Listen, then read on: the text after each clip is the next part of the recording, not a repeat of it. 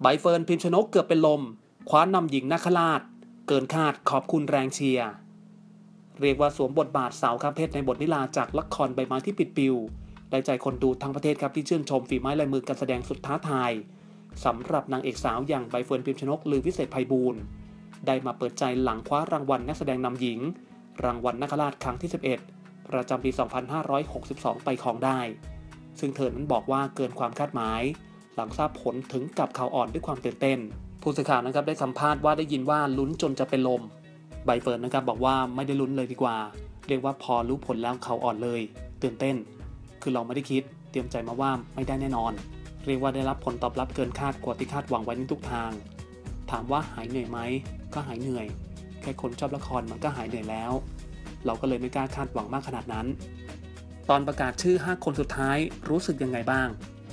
คือต้องอธิบายก่อนว่ามาวันนี้ คือตั้งใจอยากจะมาขอบคุณช่องวันมากๆ เพราะเราเองไม่ได้เป็นเด็กในสังกัดช่อง และช่องก็ส่งชื่อด้วย พี่ชอดพี่เอสพี่กู ก็ชวนเล่นโดยที่ไว้ใจมากๆ โดยที่หนูยังไม่รู้ตัวเลยว่าหนูจะเล่นได้ไหม ก็อยากขอบคุณแฟนๆที่เชียร์นิลากับตามรัก ตั้งใจมาขอบคุณด้วยตัวเองกับผลงานที่ตัวเองภูมิใจ การร่วมงานวันนี้ก็คาดหวังมาแค่นั้น เลยขาอ่อนนิดนึง คือมันไม่ได้อยู่ในการคาดเดาของหนูเลย เรียกว่าเกินคาด ก็สุดๆเลยค่ะ ก็อยากสารภาพว่าผู้จัดการของหนูบอกว่า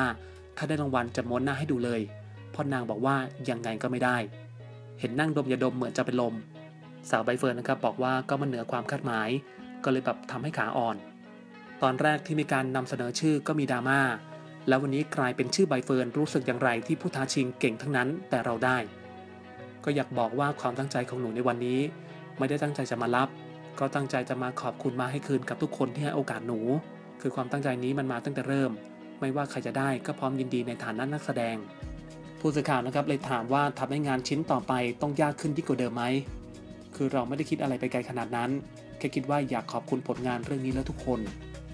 เชื่อเรื่องดวงบ้างไหมว่าทำไมปีนี้ถึงปังขนาดนี้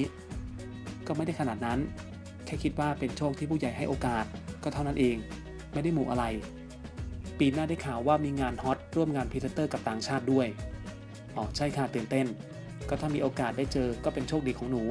แต่ตอนนี้ยังไม่มีอะไรเลยค่ะ ตอนนี้ก็ยังถ่ายทำละครอยู่ ไม่ได้รู้อะไรล่วงหน้าเลยใบเฟิร์นพิมชนกกล่าวทิ้งท้ายครับ เป็นบทสัมภาษณ์อัปเดตล่าสุดครับของสาวใบเฟิร์นพิมชนกลือวิเศษไพบูลย์ก็ต้องขอแสดงความยินดีกับเธอด้วยครับ หลังคว้ารางวัลนักแสดงนำหญิง รางวัลนาฏราชครั้งที่ 11 ประจำปี พศ 2562 ไปครองได้ครับ เป็นอีกหนึ่งช่องทางข่าวบันเทิงนะครับที่คุณจะสามารถติดตาม และอัปเดตข่าวสารไปพร้อม ๆ กันได้เลยนะครับ อย่าลืมกดติดตามชมซูเปอร์สตาร์ดาราแล้วก็อย่าลืมเข้ามาติชมโดยคอมเมนต์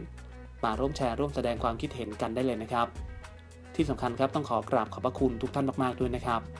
ที่เสียสละเวลาในการติดตามรับชมรับฟังกันด้วยนะครับ